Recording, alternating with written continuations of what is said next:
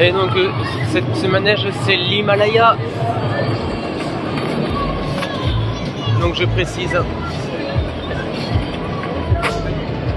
Mes amis, euh, en toute bonne chose en une date nous achève. Le tour Oui.